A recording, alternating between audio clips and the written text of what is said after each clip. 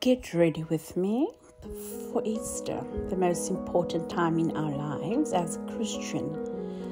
I'm just currently busy cleaning up the table space, coloring pastel balloons, my pastel serviettes, some of my placemats, my favorites, and then, of course, I make sure there is space correctly I'm very excited because it's a time that Christ is going to rise. Um, the symbolism of Him loving us unconditionally.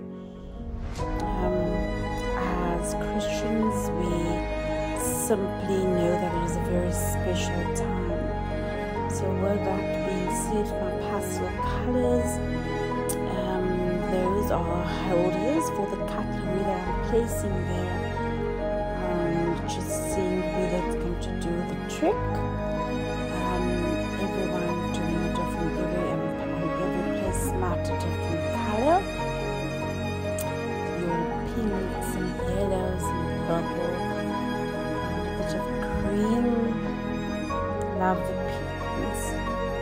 Yes, I'm so excited. I'm going to have a special time with family and one of my centerpieces oh of course brilliant. My um, easter the kids they have their buckets for the easter egg hunt. And of course something to color in on the day to keep them occupied.